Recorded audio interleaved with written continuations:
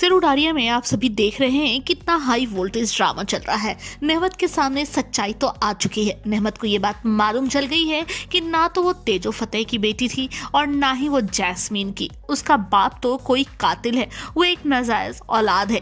इतना कुछ जानने के बाद नेहमत जो है, वो वो टूट गई है। वो परेशान हो गई है कि आखिर अब वो करे तो क्या करे। ऐसे में अब आपको बताते चले कि यहाँ पर नेहमत ने अपना ससुराल छोड़ा, माई छोड़ा। यहाँ तक कि अपने नानू का साथ भी छोड़ दिया। वो पहले बहुत रोती है और फिर मन ही मन बोलती है कि आखिर मेरी पहचान क्या है?